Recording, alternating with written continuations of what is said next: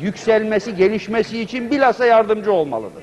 Yani bizim genel politikamız Evet budur. Sayın Tibuk. Teşekkür çok mesut İstanbul'da tebessüm ediyorlar. Ben memleketin içinde bulunduğu şartlarla yüreğim yandığı için Sayın Barlas gibi tebessüm edemiyorum.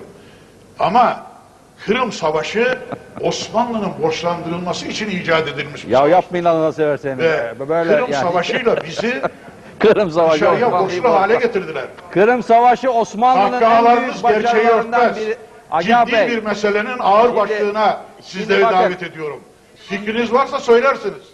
şimdi Fikriniz Bey, yoksa kahkaha atarsınız. Kaka, Burada Ali Cengiz oyunu yok. Ayrıca ben fıkra anlatmıyorum. Tarihi Fıkra- bir gerçeği anlatıyorum. Şimdi Ama yanlış Bey, anlatın. yanlış- Evinize gittiğinizde Ya- kütüphane o kadar yanlış Kırım şey. Savaşı'nı okuyun.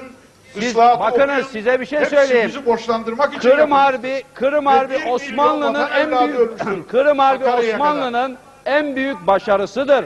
1856 Ya. Paris Konvansiyonu Kırım Harbi başarısından sonra yapılmıştır.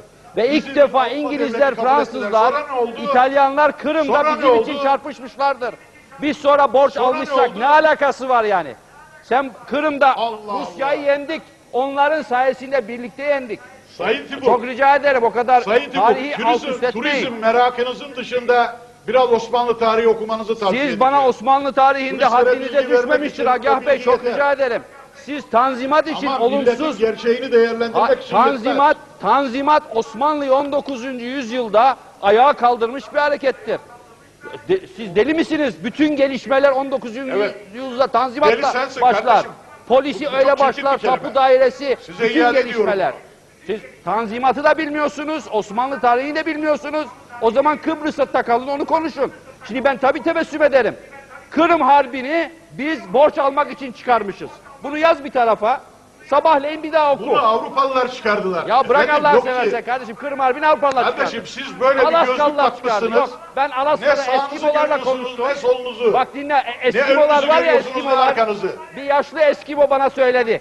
Dedi ki Kırım Harbi'ni Eskimolar çıkardı dedi. Kırım Harbi'ni kardeşim Rusya çıkardı. İngiltere ile Fransa bize yardım etti. Ve biz Kırım- Rusya'yı yendik. Kırım çarı kahrından öldü. Ya bırakın Savaşı kardeşim mı? bilmeden boş boş konuşuyorsunuz.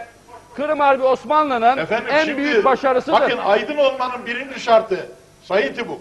Bir dakika beni dinleyin. Yok kardeşim Aydın sizi olmanın dinlemem birinci kusura şartı- bakmayın. Tamam. Sizin söylediğinizin beni millet dinliyor. Sen dinlemişsin ne olacak?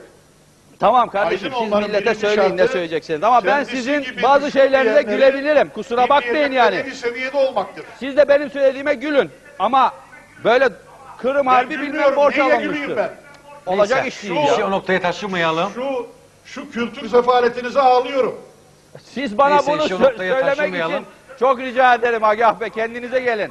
Bana bunu söyleyemezsiniz. Kişiselleştirmeyelim. Bana kimse kendim değilim söyleyemez çok bunu. şükür. Agah Bey, Sizin Resim Bey hesabınıza üzüldüm ben. lütfen kişiselleştirmeyelim Toplantının olayı. başından beri en soğukkanlı konuşmayı ben yapıyorum burada. Tamam bir şey demedim de Ve benim sizleri bir tebessümüme gerçeğe de getirmek takılıyorsunuz istiyorum. be kardeşim. Neye? Neyiniz? Yanım sizin takılacak neyiniz var Allah aşkına? Neyse Agah Bey.